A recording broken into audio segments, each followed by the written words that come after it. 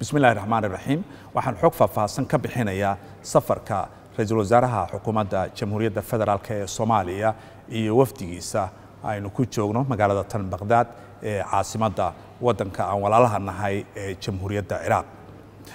safarka ra'iisul wasaaraha oo ah mid rasmi ah oo galay maanta maalintiisii labaad ayaa ra'iisul wasaaraha waxa uu kulamo isdaba jooga ilaa shalay ilaa maanta uu la lahaa madaxda ugu sarreysa waddankan qaar ka mida oo ay ka wada hadlayeen sidii loo xoojin lahaa xiriirka iyo iskaashiga soo jireenka ee u dhexeeya labada shacab iyo labada dowladood ee soomaaliya iyo ciraaq. Ra'iisul wasaaraha waxaa socdaalkiisa uu ku salaysan yahay saddex arrimood oo muhiim ah waxaana ay kale yihiin midda koowaad xoojinta cilaaqaadka u dhexeeya labada waddan ee soomaaliya iyo ciraaq gaar ahaan sidii loo cusboonaysiin lahaa islamarkaana marxalad cusub loo gaarsiin lahaa xiriirka qotada dheer ee u dhexeeya labada dowladood iyo labada shacab kuwaasi oo isugu jira arrimaha ganacsiga dhaqaalaha arrimaha bulshada sida waxbarashada caafimaadka kaabayaasha dhaqaalaha iyo wixii la mid ah. Qodobka labaad waxa uu ku saabsan yahay arrinta amniga oo runtii ah arrin ahmiyad gaara ay siinayso xukuumadda danqaran oo sida intiina badan aad ka warqabtaan waddankan ciraaq iyo soomaaliya ay dhinacyo fara badan iska shabahaan gaar ahaan burburkii ku yimid labadeenna dal iyo weliba dagaalka argagixisada. Waxaana waddankani uu ka soo kabtay runtii islamarkaana uu ka adkaaday argagixisadii dagaalka ka waday. Halkan taasi oo marxaladihii adkaa iyo khilaafaadkii u dhexeeyey dadkooda ay guulo waaweyn ay ka gaareen. Sidaa darteed maanta ciraaq dhibaatadaasi waa ay ka soo kabatay waana ay ka adkaatay kooxihii argagixisada.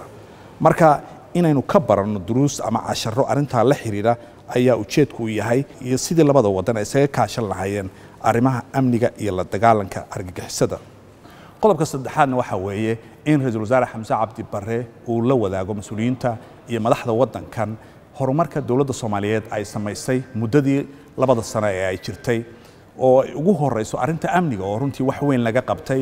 dagaalka khawaariijta lagula jiro oo isna guulo waaweyn laga gaaray. Iyo sidoo kale arrimaha horumarinta dhaqaalaha waddanka